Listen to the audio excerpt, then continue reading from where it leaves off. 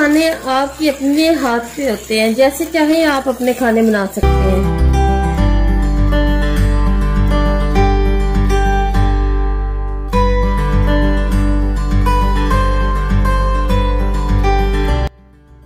बिस्मिल्लाहिर्रहमानिर्रहीम अस्सलाम वालेकुम welcome to my Asian kitchen. आज मैं आपके सामने एक नई रेसिपी लेकर हाजिर हुई हूँ। तो आज मैं आई हूँ सिंगापुरी राइस लेकर। तो चले हम उसके स्टेप नंबर फ़र्स्ट पर चलते हैं। तो सबसे पहले मैंने ये चावल है और उबाल लिए मैंने और इसमें मैंने मटर, गाजर और आलू डाले हैं। अगर आप चाहें तो आप डालें, नहीं तो आप इसे छोड़ सकते हैं और खाली चावल भी उबाल सकते हैं। तो इसमें मैंने हल्का सा नमक और ऑयल डालकर इन्हें उबाल लिया था।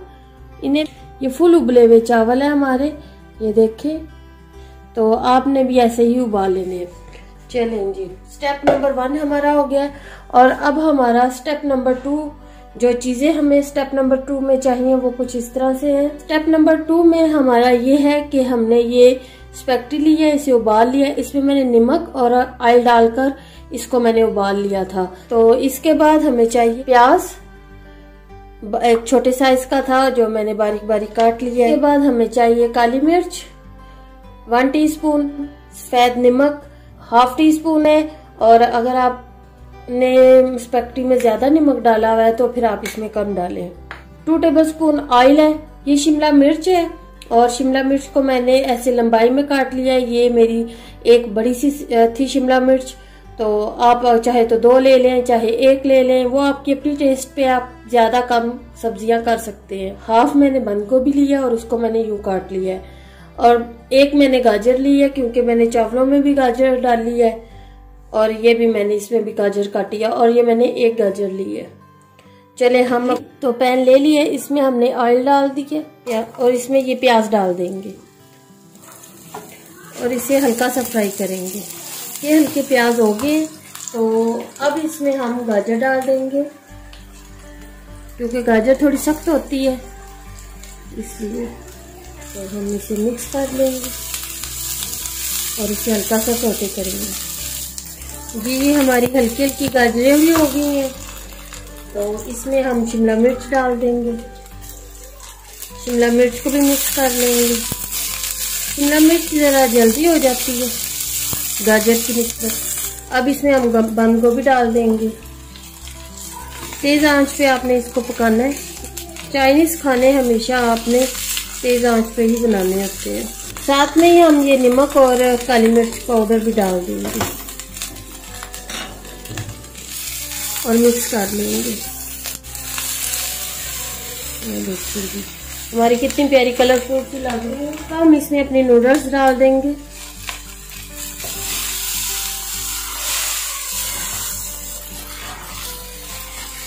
दो चमचों की मदद से आपने इसे मिक्स कर लेंगे जी, हमारी ये देखें, कितनी अच्छे से मिक्स हो गई है।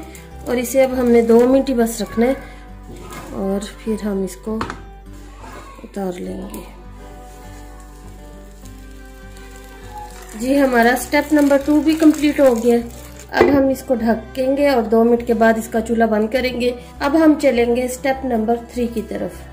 स्टेप नंबर थ्री में हमें जो चीज़ें चाहिए, ये मैंने पास्ता लिया है और मैंने इसे उबाल लिया इसमें मैंने छोटी सी एक गाजर को उबाला है। आप चाहें तो पास्ता लें, ये चाहें तो ना लें, ये मैंने अपनी मर्ज़ी से लिया है। हाफ़ कप ऑयल, आधा किलो चिकन, जो मैंने यूँ ऐसे काट लिए एक मीडियम साइज़ का प्याज है, जो मैंने बारीक बारीक काट लिया है। One tablespoon chilli sauce two teaspoon garlic chilli sauce, two tablespoon ketchup, two tablespoon soya sauce. और पाँच, छह जवे मैंने ये लहसन के लिए थे और इसको मैंने यूँ बारीक बारीक चॉप कर लिया और मसाला जात में जो जाएगा, वन टीस्पून काली मिर्च powder, half teaspoon chicken powder, अगर आपके पास है तो आप डालें, नहीं तो आप इसे स्किप कर दें।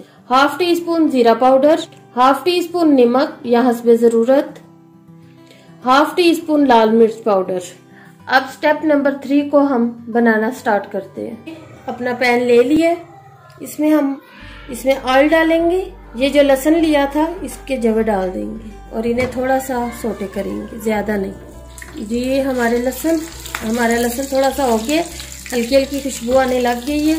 अब इसमें हम ये प्याज डाल देंगे। हल्का गुलाबी करेंगे हम प्याज को।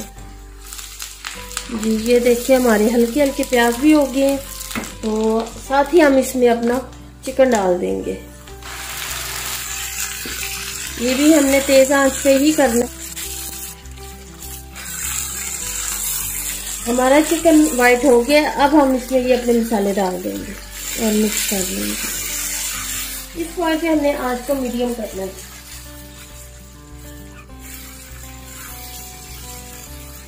हमारे मसाले मिक्स हो चुके हैं। तो अब इसमें हम अपने ये डाल देंगे chilli sauce, chilli garlic sauce डाल देंगे हम। सोया सॉस, साथ ही केचप और मिक्स कर लेंगे।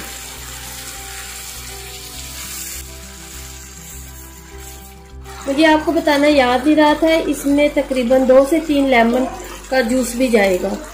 तो ये भी आपने इस टाइम पे डालना है और इन्हें मिक्स कर लें।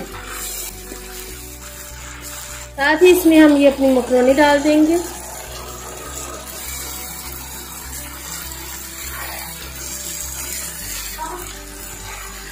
आपके खाने आपके अपने हाथ से होते हैं, जैसे चाहे आप अपने खाने बना सकते हैं। अब हमने मीडियम आँच पे इसको पाँच मिनट के लिए ढक के बनाना है। चले, अब इसको हम चेक करते हैं। और वो ये देखिए, माशाल्लाह, हम और हमारा चिकन भी गल चुका है। ये देखिए, हमारा चिकन भी गल चुका है। दो मिनट ढक के पकाएँगे और उसके बाद चूल्हा बंद कर देंगे। स्टेप नंबर फोर की तरफ़ चलते हैं। तो स्टेप नंबर फोर में हमने सॉस बनानी है, जिसमें मुझे चाहिए एक cup mayonnaise one table spoon सिरका ketchup four tablespoon chilli garlic sauce two tablespoon तो हम सबसे पहले लेंगे मायोनीज इसमें डालेंगे हम सिरका और इसको मिक्स कर लेंगे। इसके बाद डालेंगे चिली गार्लिक सॉस और मिक्स कर लेंगे। इसके बाद डालेंगे हम केचप और इसको मिक्स कर लेंगे। हम ना करेगी सॉस हमारी मिक्स और हम अपने प्लेट को सेट करते हैं। हमें इसको थोड़ा सा तो सबसे पहले हम अपनी प्लेट को सेट करने के लिए हम इसमें डालेंगे हमने जो स्टेप नंबर वन पे ये चावल उबाले हुए थे वो डालेंगे। Colourful rice. जी। आपने तो वो कलर डाले हैं ही नहीं। कौन से? वो पर्पल है येलो। तो हमने ये राइस डाल देंगे इसमें। और हमारी हमना ने ये सॉस तैयार की है बाउल सारा गंदा करके। आ, तो हम इसको हम साइड पे अभी रखेंगे। ये हमने राइस इसमें रखे हैं। साथ ही हम अपने ये जो हमने अपनी नूडल्स तैयार की इसके ऊपर ये देखिए कलरफुल सी हमारी वाह मम्मा क्या खुशबू है। यमी यमी लग रहा है।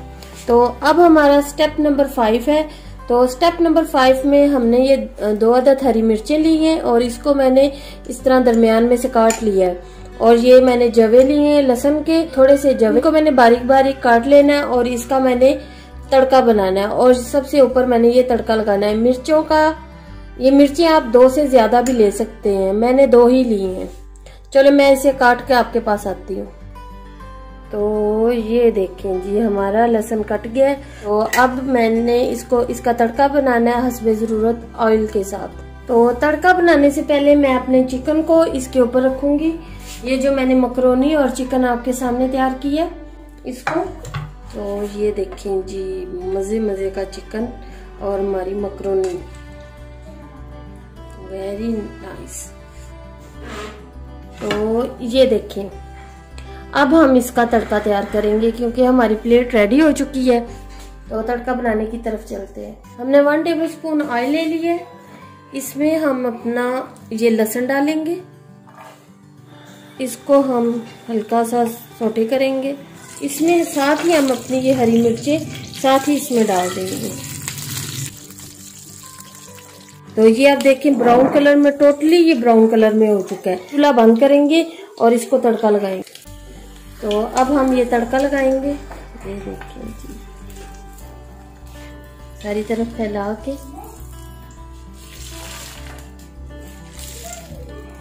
तो हमने तड़का लगा लिया। तो अब इसके ऊपर जो हमने ये सॉस डाली थी, ये हम डाल देंगे। थोड़ी सी सारी तरफ़ फैला के। सारी तरफ़ फैला के आप ये डाल दें। तो सिंगापुरी राइस तैयार है। आपके सामने मैंने हर चीज़ तैयार की है। तो बहुत मज़े की लग रही है। तो आप भी अपने घर में ये बनाना। और मेरी बेट हमना और आयशा बहुत बेताबी से बैठी हुई है और प्लेट की तरफ़ देखी जा रही हैं। तो मुझे नहीं समझ आ क्या हुआ? तो हम ना आयशा बेताबी से इंतज़ार कर रही हैं। तो हम ना आयशा किस चीज़ का इंतज़ार है मेरी बेटी को? खाने का इंतज़ार है। खाने का इंतज़ार है आयशा को? जी। आयशा ने क्या खाना है? ये। क्या है? सिंगापुरी राइस। तो आपको मज़े के लग रहे हैं? जी। और हम ना आप किस चीज़ का इंतज़ार कर रहे हो? मैं भी खाने का ही कर रही हूँ। अच्छा तो आपने भी सिंगापुरी राइस खाने हैं? यस तो टेस्ट करवाऊँ आपको? यस यस आज आप लोग भी खा लो। आयशा ने ये आप लोगों को झूठी सुला की है। मम्मी फिर ऐसे ही होता है ना। जी ये रेडी होगी हमना आयशा की प्लेट और अब हमना आयशा ये चेक करेंगी और हम मुझे बताएँगी ये कैसा बना है। हमना और आयशा अभी टेस्ट करेंगी फिर मुझे बताएँगे ये कैसे बना है।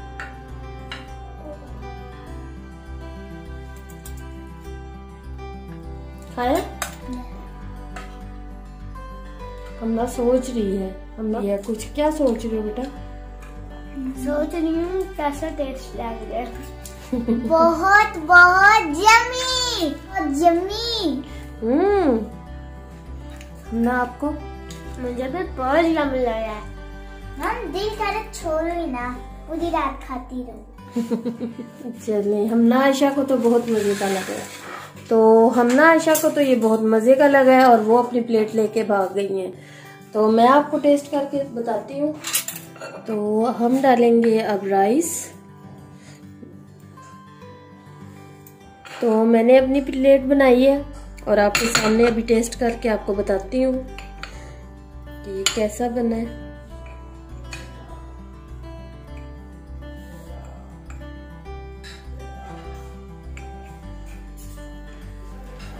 तो ये मेरी पहली स्पून बिस्मिल्लाहिर्रहमानिर्रहीम। हम्म सॉस का मज़ा बहुत है इसमें। मम्मा सॉस का नहीं पूरी चीज़ों का मज़ा है। हम्म। चलें जी इसमें सॉस का टेस्ट लहदा है तड़के का टेस्ट लहदा है और ये अलहदा अलहदा हर चीज़ बनी है लेकिन मिला के खाने का अपना ही मज़ा है। यकीन करें बहुत मज़े का। हर चीज़ का अपना टेस्ट है हर। मुझे भी एक स्पून दो ना। अच्छे बच्चा हम्म, ये बहुत मज़े का है बहुत टेस्टी है। हर चीज़ का लहदा लहदा से टेस्ट है और वो बहुत ही मज़े का है। भी अपने घर में ये बनाएँ और अपने प्यारों को खिलाएँ और आप भी अपने घर में ये बनाएँ अपने प्यारों को खिलाएँ। तो चलती हूँ, दुआओं में याद रखिएगा। इन एक और नई रेसिपी लेकर हाजिर होंगी। और मेरे चैनल को जिन जिन लोगों देख रहे हैं, सुन रहे हैं प्लीज़ सब्सक्राइब करें लाइक करें शेयर करें। और अपनी दुआओं में याद रखें। अल्लाह हाफिज़।